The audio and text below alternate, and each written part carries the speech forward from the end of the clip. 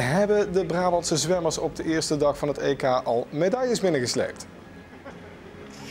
Het antwoord is bijna. En dat bijna dat zeg ik vooral vanwege Job Kienhuis, die vandaag als eerste in de finale stond op de 400 meter vrije slag. En hij deed het uitstekend. Alleen hij kwam net tekort om op het erepodium te belanden. Vier tiende van een seconde en hij werd dus vierde.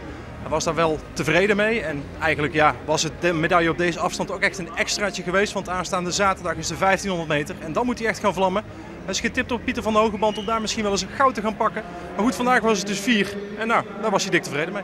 Nou, dan de vrouwen. Die hadden vandaag nog geen finale. Wel kwam Inge Dekker in actie. En zij won vorig jaar nog vijf Europese titels. Hoe deed zij het vandaag? Mm, nou, ze is gesneuveld in de series om daar maar meteen te beginnen. Dat was ook eigenlijk wel een beetje verwacht. Inge Dekker heeft een hele lange tijd gekampt met een schouderblessure. Daar heeft ze veel last van gehad. Ze is eigenlijk pas net terug. Uh, datzelfde geldt eigenlijk voor Ranomi Kromowidjojo, haar ploeggenote bij NZT. Zij kampte een paar maanden terug nog met een hersenvliesontsteking, is ook pas net terug. Zij presteerde het wel, dus hè, Dekker sneuvelde. Kromowidjojo heeft de finales gehaald. Uh, de halve finales zijn hier net achter de rug. En ze was twee seconden, bijna twee seconden sneller dan haar directe concurrenten. Dus die, ja, ondanks alles, is ja, buitengewoon goed in vorm. Nog andere bijzondere prestaties bij de vrouwen?